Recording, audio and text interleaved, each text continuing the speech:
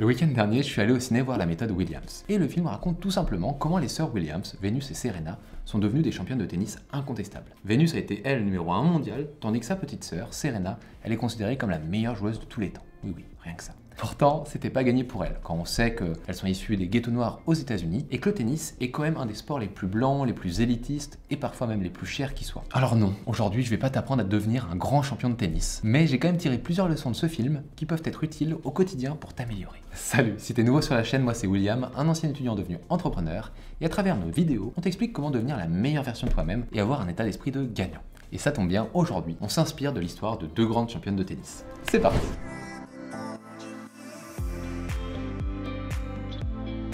Et pour bien comprendre de quoi je parle, un petit synopsis s'impose. En fait, le personnage principal de l'histoire, c'est pas Vénus ni Serena Williams, mais leur père, Richard Williams. C'est marrant parce que mon deuxième prénom c'est Richard. Voilà, c'est tout. C'est un noir des États-Unis qui vivait dans les quartiers assez craignos et justement, il a du mal à joindre les deux bouts pour subvenir aux besoins de sa famille. Mais un jour, en regardant la télé, il découvre qu'une joueuse polonaise, Virginia Ruzici, elle a emporté 40 000 dollars en remportant Roland Garros. Et ni une ni deux, il appelle sa femme et lui dit Écoute, on va faire deux autres enfants qui deviendront des champions de tennis. Sa femme lui demande comment, et là il dit qu'il a déjà un plan, une méthode qu'il a écrite dans un carnet de 78 pages. Et le film raconte justement comment il a suivi le plan à la lettre jusqu'à obtenir tout ce qu'il avait prévu.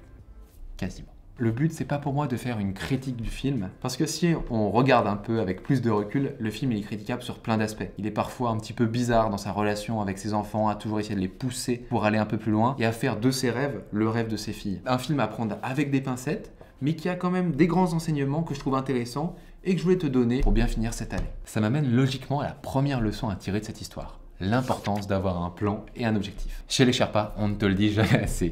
Les plannings, les plannings, les plannings, les plannings. Je t'ai même fait une vidéo pour t'expliquer comment faire un planning de travail efficace juste ici. Et bah, si tu ne croyais pas qu'on me disait que c'était une méthode révolutionnaire, j'espère que l'exemple des sœurs Williams aura fini de te convaincre. C'est tout le secret de leur réussite, avoir suivi à la lettre le plan de 78 pages élaboré par papa. Vous avez entre les mains le prochain Michael Jordan. Eh non, mon frère. Désolé, moi j'en vois deux. Et c'est vraiment ce dernier plan qui reste le fil conducteur du film, en commençant par cette citation de Benjamin Franklin qui est placardée juste en face des filles pendant leur entraînement. Celui qui échoue à planifier planifie son échec. Et concrètement, ça, ça veut dire quoi? Ça veut dire qu'il faut voir le plan ou planning comme une feuille de route pour arriver à ta bonne destination. Ça permet, un, de savoir où tu vas et de toujours maintenir le cap dans la bonne direction. À noter d'ailleurs hein, que l'objectif est l'élément central du planning, car sans lui, il n'y a pas de destination. C'est un peu comme si tu avais un GPS et que tu rentrais pas d'adresse pour aller à ta destination. Le deuxième point de ce plan, c'est de pas se perdre en cours de route. Même si tu as un but final, c'est facile de se paumer, de plus savoir où tu vas. On est de prendre des routes de traverse, on pense que tous les chemins mènent à Rome, mais en fait c'est pas le cas. Et enfin, le troisième objectif de ce plan, c'est d'y aller par étapes. Devenir un champion, ça c'est pas un claquement de doigts. Ton planning te permet donc d'avancer petit à petit, avec un rythme régulier, mais nécessaire pour ne rien oublier. Et ça c'est cool. Et la deuxième leçon, c'est vraiment l'importance qu'on met à rechercher de façon personnelle. Parce que oui, je t'entends ici dire oui, mais le père Williams, c'était un génie, moi j'arriverai jamais à tout planifier comme lui. Bah non, ce cher Richard Williams n'était pas plus intelligent que toi. Et d'ailleurs, il y connaissait strictement rien au tennis avant. Il avait jamais touché une raquette de sa vie, mais ça l'a pas empêché de devenir un expert en la matière jusqu'à devenir entraîneur professionnel. Tu vas entrer sur le cours la tête haute.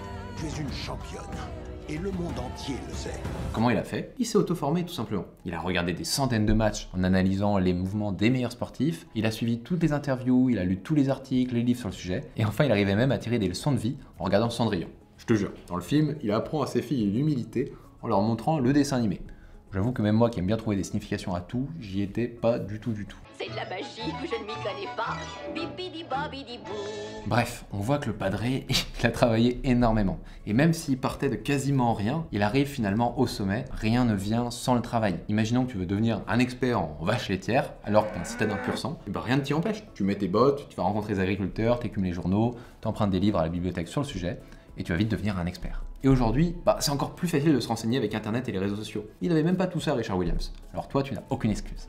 Et la troisième leçon, c'est que pour être le meilleur, il faut que tu travailles avec les meilleurs. Parce que oui, c'est vrai que le self-made man a quand même ses limites. Et c'est très bien démontré dans le film. Au bout d'un moment, en fait, Horacen, la femme de Richard Williams, elle lui dit On ne peut plus rien faire pour elle. En fait, elle estime à ce moment-là qu'ils ont apporté toutes les billes possibles à leur fille pour devenir de grandes championnes et de grandes joueuses de tennis. Mais à ce moment-là, ils sont dans l'incapacité d'aller plus loin parce que pour devenir meilleurs, il faut qu'ils aient des meilleurs coachs, de meilleurs entraîneurs. Alors, à ton avis, va faire quoi le père de Vénus et Serena?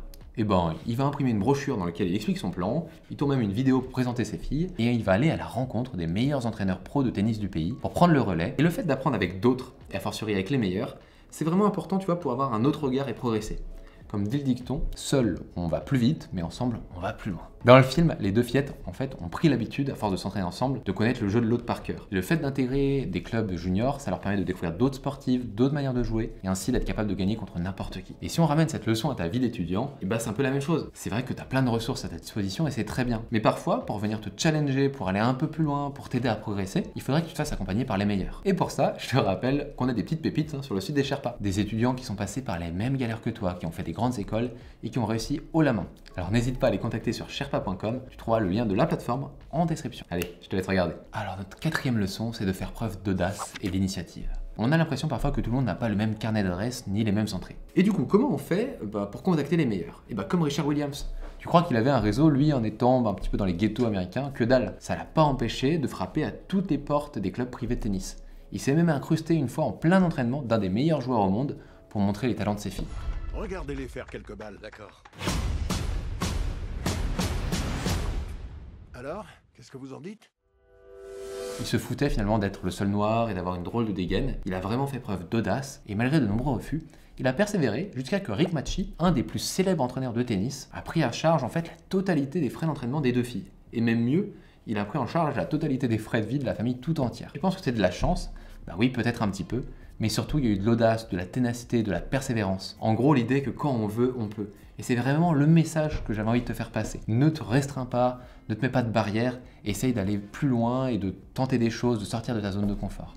La cinquième leçon, c'est vraiment de rester focus sur ton objectif. Bien sûr, hein, c'est plus facile à dire qu'à faire. Mais pour t'aider à y arriver, il y a une citation de Nietzsche que j'aime beaucoup. Celui qui a un pourquoi qui lui tient lieu de but peut vivre avec n'importe quel comment. L'idée que si tu sais où tu vas, tu vas pouvoir supporter toutes les difficultés qui vont t'emmener sur ce chemin-là. Parce que oui, tu peux élaborer n'importe quel plan, hyper complet, hyper sophistiqué. Tu peux suivre toutes les leçons du monde, mais si t'as pas un but qui est précis, et si tu n'y crois pas à fond, ça sera vachement dur d'y arriver. C'est près dans le film, le père Williams répète sans cesse à ses filles pourquoi elles font tous ces sacrifices, pourquoi elles s'entraînent si dur? Tu vas franchir une nouvelle étape. C'est pas seulement toi que tu vas représenter, tu vas représenter toutes les petites filles noires du monde. C'est comme ça que Vénus, alors qu'elle a à peine 14 ans, elle ose dire devant les journalistes d'un ton déterminé et sans appel hein, qu'elle peut battre la numéro 1 du moment. I know I can do this. You know it. Very confident. I'm very confident. Alors, est-ce que tu sais ce qu'il te reste à faire? Bah, Tout simplement de prendre un moment pour réfléchir à ton pourquoi et à ton but, savoir finalement là où tu as envie d'arriver. T'es pas obligé de choisir un but à aussi long terme que les sœurs Williams. Trouver ton but ultime dans la vie, c'est pas facile, tu peux y aller par étapes en te donnant des objectifs sur un an par exemple. Et ça sera très bien à condition que ce soit vraiment ce que toi tu veux. Pourquoi je te dis ça? Parce que peut-être que finalement les sœurs Williams, c'est ce qui les drivait, ce qui les faisait vibrer de devenir de grandes championnes de tennis. Mais dans le film, on a l'impression quand même que c'est descendant du père vers les filles. Et moi je préférais que ça soit un choix de vie que tu décides. Que tu évites de te dire par exemple je veux ressembler à machin, je veux faire comme Tartampion. C'est très bien d'avoir des modèles pour t'inspirer, il faut vraiment que ça s'arrête là et que tu trouves finalement ce qui te fait vibrer, ce qui te donne envie de te lever tous les matins, ce qui donne envie d'avoir un impact sur ce monde. Pour ça, tu peux t'inspirer d'une réplique du film qui est tirée d'une vraie interview de Serena. If you were a tennis player, who would you want to be like? Well, I like other people to be like me. Pas mal comme répartie, non? Bon, pour ma dernière leçon, je voulais déjà te dire que c'est un méga spoiler. Donc ne m'écoute pas, ferme la vidéo, passe une autre vidéo des Sherpas si jamais tu t'apprêtes à regarder le film dans les prochains jours ou dans les prochaines semaines. Donc j'enchaîne. C'est que une défaite n'est pas forcément un échec. En gros, pendant tout le film, Vénus, ne fait que gagner. Encore, encore, encore. Sauf un match, le dernier du scénario, contre la numéro 1 de l'époque. Et c'est pourtant à ce moment-là que va commencer sa véritable carrière de championne de tennis. Parce qu'elle a dévoilé ici aux spectateurs tout son potentiel. Elle a jamais lâché, elle a tenu tête à la meilleure joueuse de l'époque. Et c'est vraiment en gros la moralité de l'histoire. Toi aussi, dans ta vie, tu vas essuyer des défaites. Ça va être dur, ça va pas être plaisant tout le temps. La seule véritable erreur est selon moi de n'en retirer aucun enseignement. Bien sûr, si tu prends le temps d'analyser ton erreur, de voir ce qui a péché, de voir comment tu aurais pu faire pour l'éviter, en mettant par exemple tout ça dans un carnet d'erreurs, et bah t'aurais peut-être pu en retirer des leçons et éviter de reproduire ces erreurs un peu plus tard. Et voilà, on a fait un grand tour de ce qu'il faut retenir à mon sens du film La méthode Williams. Et peut-être que la vraie leçon ici, si tu dois retenir une seule chose, c'est qu'avec une bonne méthode, une méthode qui est saine par contre, tu peux atteindre n'importe quel objectif à condition d'y mettre toute ton énergie. Et peut-être que à plus de 40 ans, comme les sœurs Williams, tu arriveras à continuer à battre tes records. J'espère en tout cas que cette vidéo t'a plu et que cette histoire t'a motivé. Si c'est le cas, n'hésite pas à nous le dire en commentaire, mais aussi à t'abonner à la chaîne, à cliquer sur la cloche et à appuyer sur le pouce bleu. Et nous, on se retrouve très bientôt pour une prochaine vidéo. Ciao ciao